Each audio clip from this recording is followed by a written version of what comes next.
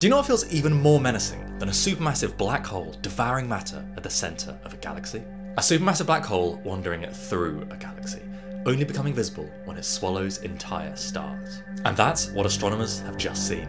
Scientists think most galaxies have supermassive black holes at their centres, but since no light can escape black holes, they're not easy to spot. One way to spot them is when a star gets too close, and the black hole's unimaginable gravity rips it to shreds, releasing a huge, bright burst of energy. It's called a tidal disruption event, and we spotted about 100 of them, all in the centres of galaxies, until now. Now, for the first time, we've spotted one of these events outside a galaxy's centre.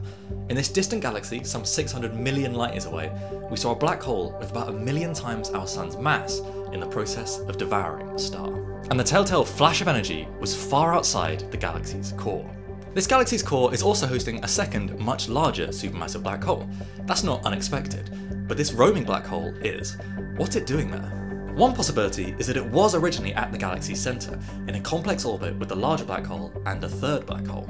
The chaotic interactions between the three might have launched this black hole out into the galaxy at large. On the other hand, this wandering black hole might have come from the outside in. Scientists say it might have been at the core of an earlier galaxy that merged with this one. If so, this supermassive black hole might be falling towards the galaxy's centre even now. And when it gets there, this cosmic monster will finally meet its match. It'll be swallowed up by a black hole some 100 times more massive, and that will create a huge burst of energy.